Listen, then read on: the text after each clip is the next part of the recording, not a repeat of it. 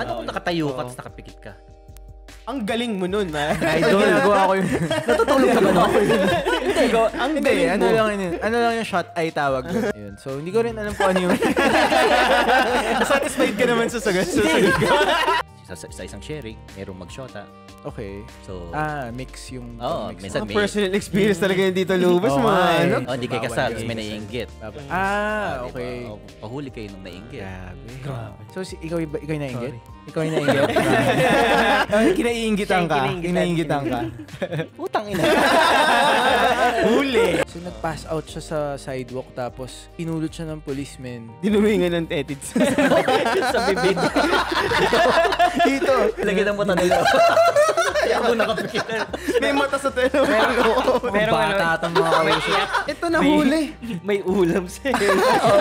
Yun nga eh. Pum- Pumunta na nga ako dun. Saan nilalagay yung ulam?